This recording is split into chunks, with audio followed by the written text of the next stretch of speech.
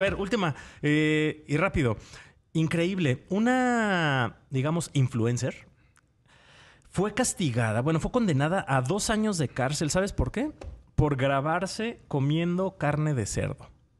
Esto pasó en Indonesia y eh, fue la determinación de un tribunal de la localidad de Palembang, en la isla de Sumatra. Condenó a dos años de prisión a Lina Mukherjee, como te digo, una influencer en redes sociales, por su participación en la difusión de un video en TikTok eh, que consideran ofensivo para la comunidad musulmana y el tribunal le dio dos años de cárcel por comer carne de cerdo. No, en estos momentos estamos viendo el, el video para la gente que está en Si te filman a ti un día de cruda un sábado, te dan cadena perpetua, hermano. O sea, con las porquerías que comes. ¿Yo?